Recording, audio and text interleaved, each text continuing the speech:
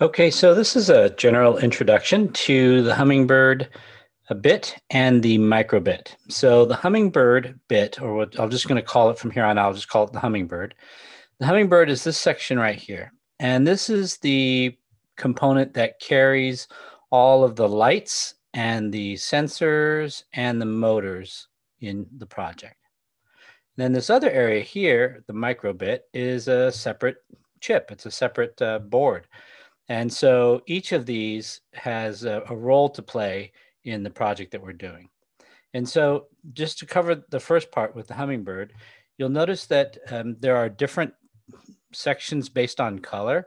There are these uh, yellow ports here, there are these green ports here, blue ports here, and then some black ports here. And I'll go through each of them.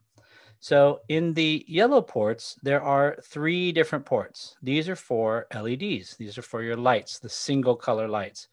And each port has accommodates two wires. Okay. In the tricolor LEDs, there are two ports, and each one of those has four wires each. So this is a single light. It's a single tricolor light right there. The sensors, there are three of them. Again, labeled one, two, and three. And each of those has three ports inside.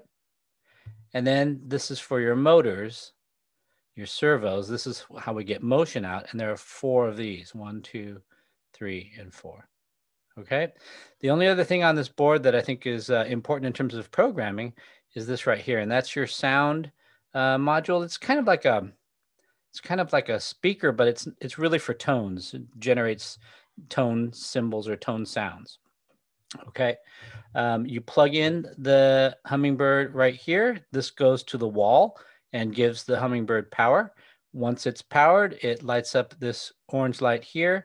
And then once you're connected to the computer, you get that green light. And you connect to the computer using the microbit. It's actually wireless, it's Bluetooth. So on the microbit, you have an A button and a B button. And then you have this, it's called an LED array. It's 25 different LED lights. They're all red, single color. Uh, and they, each one of those can be programmed to do a different thing, lighting up or, or turning off. And then there's some other sensors in here that we'll talk about uh, in future videos. But that's it for the overview of the Hummingbird bit.